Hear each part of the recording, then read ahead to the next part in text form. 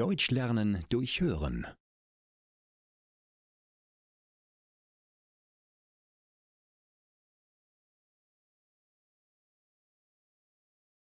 Fremdgehen. Mein Freund ist fremdgegangen. Hast du diesen Satz schon einmal gehört? In Deutschland wird er oft verwendet, wenn jemand seinen Partner betrügt.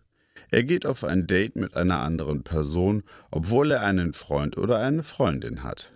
Hier ist ein einfaches Beispiel. Marie hat einen festen Freund. Er heißt Boris.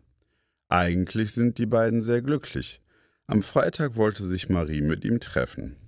Doch Boris kann nicht. Er sagt ihr, dass er sich mit seinen Freundinnen zum Fußballspielen verabredet hat.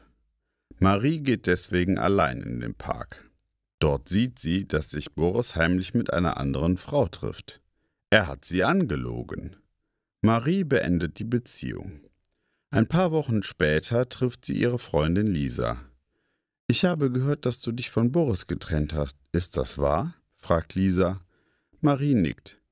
Ja, ich habe ihn im Park gesehen. Er hat eine andere Frau geküsst. Er ist fremdgegangen.